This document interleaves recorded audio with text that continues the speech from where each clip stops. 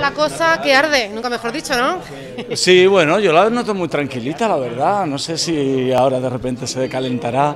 Pero si te refieres a nominaciones de, de Arde, tenemos como cuatro. Están muy bien, están muy bien. ¿Te esperabas el éxito? Sí, ¿no?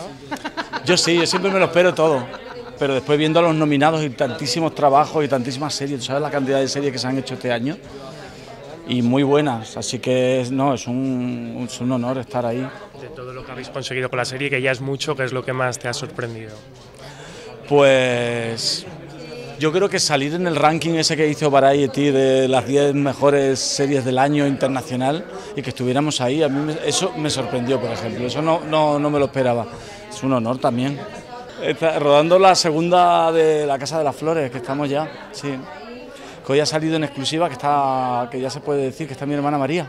Qué bien. Sí, aparte de otra de Mariana Treviño y otros actores y actrices nuevos, eh, también han fichado a mi hermana. Veremos juntos en las mismas secuencias, en alguna por lo menos. Sí, ya hemos hecho, ya hemos hecho, sí. ¿Cómo ha sido eso? Pues como en familia, no sé.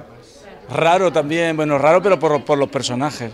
Porque tú ¿Prefieres imagínate, dirigirla o ser compañero?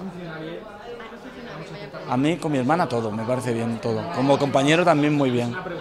Y dirigirla también, he disfrutado con las Carminas cuando la tenía que dirigir, muy, muy bien también. Pero ahora no puedes mandarla, ¿no? Que decía, ves que mi hermano es muy mandón. Bueno, cuando soy directora, a ver, no es que sea mandón, es que soy. No te creas, ¿eh? que ella es muy indómita. Yo soy mandón, pero ella es indómita. Ella es brava, ella es brava. Ella es paloma brava. Paco, muchísimas gracias. Un placer hablar contigo.